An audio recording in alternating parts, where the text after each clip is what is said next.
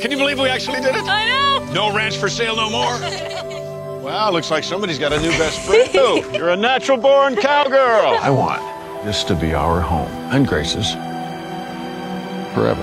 It will be. I've been called and asked to go back and do another tour of duty. Really? My country needs me. Listen, sweetheart, when I'm gone, protect her, make sure she's safe.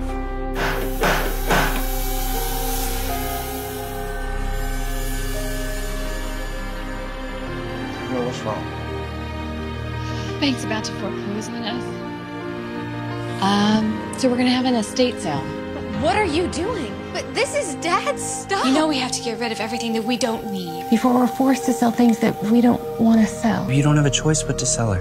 But if she's the only chance that the ranch has left, then maybe your mom's right. I lost my dad. I can't lose her, too. Bank! Bank! Being tested right now. But it's gonna make you stronger. But you gotta believe that. Everything's gonna work out. How do you know that? We can start a business, horse trail rides, horse riding lessons. That's how we can get the ranch making money again. Where are we gonna come up with the money to buy more horses? You could always bring on a partner. I want to let you know that I have everything I need to pay what I owe. My daughter and I aren't going anywhere. I don't understand.